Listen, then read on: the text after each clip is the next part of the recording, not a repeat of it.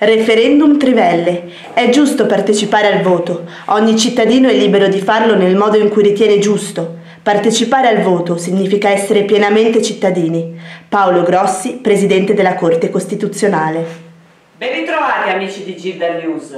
Domani 17 aprile saranno aperti dalle 7 alle 23 i seggi per il referendum sulle trivellazioni. Come redazione facciamo nostro l'invito ad andare a votare del Presidente della Corte Costituzionale Paolo Grossi e l'appello dei Presidenti di Camera e Senato Laura Boldrini e Pietro Grasso.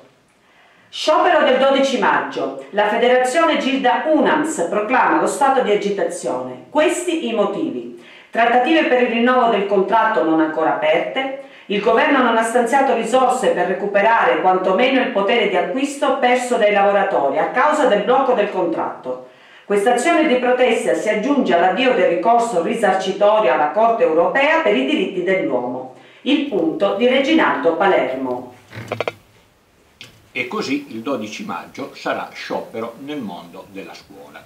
Dopo aver pazientato per diversi mesi, forse troppi, la federazione Gilda UNAMS ha deciso di proclamare lo sciopero generale della scuola per richiamare l'attenzione del governo sui molti problemi irrisolti, dal contratto scaduto ormai da tempo immemorabile alle norme della legge 107 relative agli albi territoriali e alla chiamata diretta da parte dei dirigenti scolastici. Nella stessa data sciopereranno anche Cobas e Unicobas, seppure con obiettivi diversi. La Gilda non intende però abbandonare l'idea di uno sciopero unitario con tutte le altre sigle del comparto. D'altronde contratto e legge 107 sono due questioni centrali per tutti i sindacati. Se CGL, CISL, WIL e SNALS accoglieranno la proposta della Gilda, non è da escludere che possa essere individuata una nuova data condivisa per un'azione più ampia ed incisiva. Mobilità.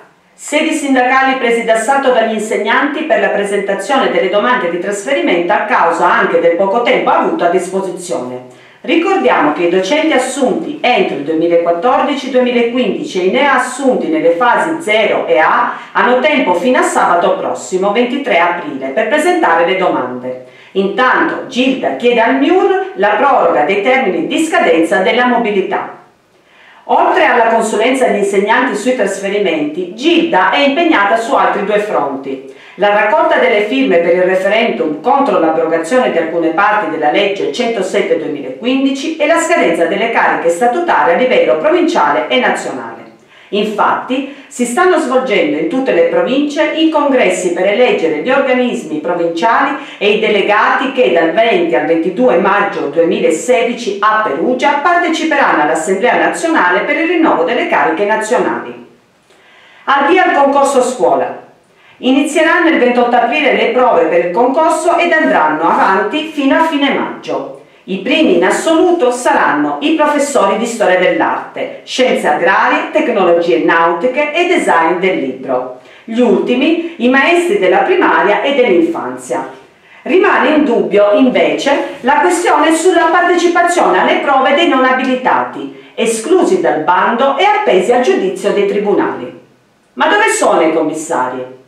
Molti docenti non hanno intenzione di sobbarcarsi l'ennesimo oneroso impegno a fronte di una retribuzione di un euro l'ora, offensiva per la dignità di un lavoratore. Il MIUR ha perso il controllo della situazione e per errore sta inoltrando mail anche agli stessi docenti precari a cui è rivolto il concorso e che in molti casi aspettano da mesi gli arretrati dei loro stipendi.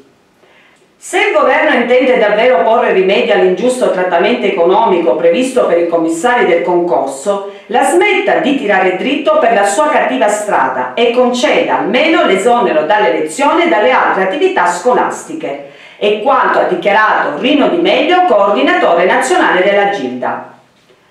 Emiliano contro la 107. Il presidente della regione Puglia, Michele Emiliano, ha sottoscritto i quattro quesiti proposti dal comitato promotore del referendum abrogativo sulla buona scuola.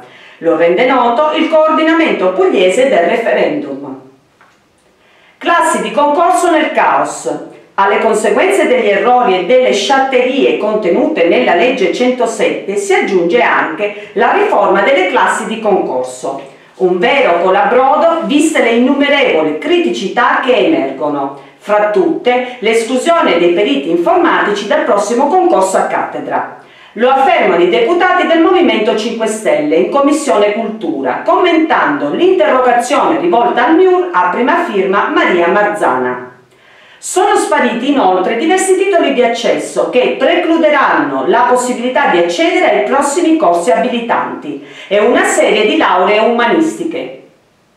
Ragazzo autistico escluso dalla gita. Uno studente autistico di un istituto di Livorno è arrivato nell'aula si è trovato solo con il suo insegnante di sostegno, ignaro che i suoi compagni fossero andati in gita scolastica.